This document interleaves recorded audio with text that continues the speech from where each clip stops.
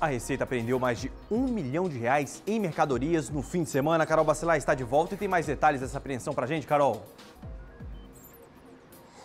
Exatamente, viu, Móvel? Essa apreensão que aconteceu nesse último final de semana apreendeu eletrônicos, bebidas, roupas, calçados, cosméticos e também produtos PETs avaliados aí no total de 200 mil e imposto estimado em 120 mil. A Receita Federal, durante essa apreensão, revelou um esquema de emissão de notas fiscais falsas envolvendo aí empresas fantasmas. Essa investigação vem sendo realizada ao longo do mês de dezembro e resultou aí na apreensão que ultrapassa o 1, 1 milhão de reais. As ações tiveram como foco o imposto sobre circulação de mercadoria e serviço, que é o ICMS. Somadas aí as apreensões na primeira semana de dezembro, totalizam aí 500 mil reais em crédito tributário. As investigações também, Mobile, revelaram atuações dessas empresas noteiras, que empresas aí de fachada para estar tá aí é, fazendo essa emissão de nota fiscal de forma fraudulenta. De acordo com a Coordenação de Fiscalização Tributária,